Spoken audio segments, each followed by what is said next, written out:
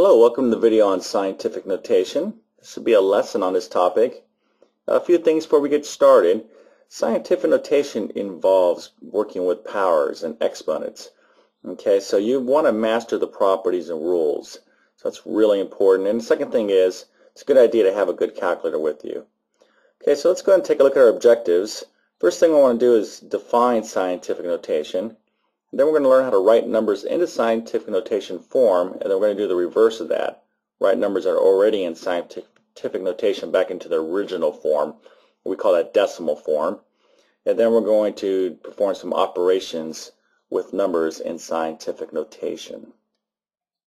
So let's go ahead and get started here and answer the question, what is scientific notation? Well, if you look at the root words here, scientific and notation, Notation kind of indicates some sort of language or or uh, words, if you will. And then, of course, scientific means science. So we're talking about the language of science. And the language of science is mathematics, but let's think about the kind of numbers you deal with deal with in science, not the natural sciences, if you will.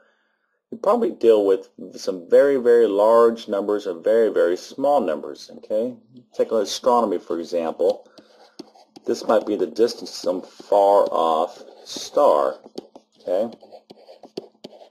Now, if I had to work with this number and multiply it by other numbers like this, I would not get anything done because I'd be wasting my time um, writing out the numbers. Okay, so there's got to be a better way to handle some very um, large numbers and very small numbers that we deal with in science. And a better way is what we're going to learn in this lesson, and that's scientific notation. And it involves the power of 10. Okay, so that's going to be some number times 10 to some power. Okay, here I'll just put 7, for example. But a number that looks like this, you're going to see, is a number in scientific notation. Much easier to deal with than this number, which we call in decimal form. All right, so let's go ahead and learn how to write a number in scientific notation. So I got two numbers here. One semi-large, not too difficult, 12,860, but um, well, we'll use that as our large number. And then here I have a small number. So let's learn how to write these numbers into scientific notation. All right, I'll start with the large number first.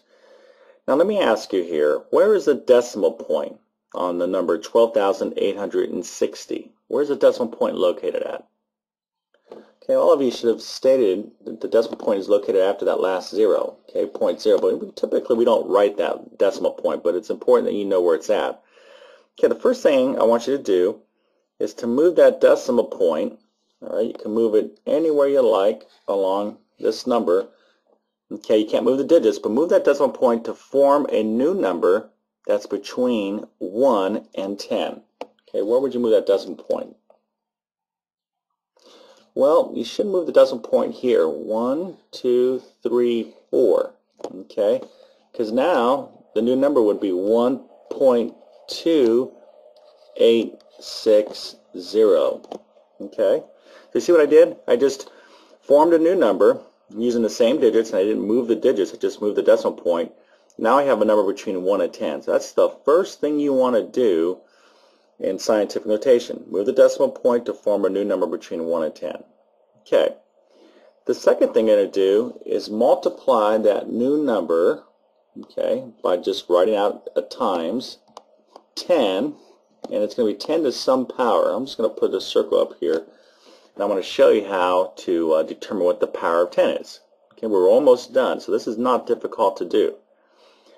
To determine the power of 10, what you need to do is count how many spaces, or digits if you will, um, that you move the decimal point to form that new number between 1 and 10. So in other words, how many places did you have to move the decimal point uh, from its original location here to here? Okay, well we moved it 1, 2, 3, 4. Well guess what? That's the power of 10. It's going to be a positive 4. Now I want you to take note of something that's very important here. If you had to move the decimal point to the left, okay, the power will be positive. Okay, it's very important. And guess what? We're done.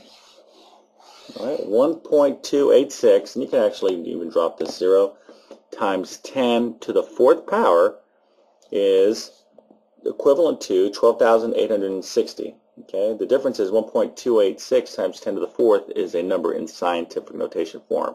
And it makes sense. Okay, if I ask you to simplify this, you would say, okay, 10 to the fourth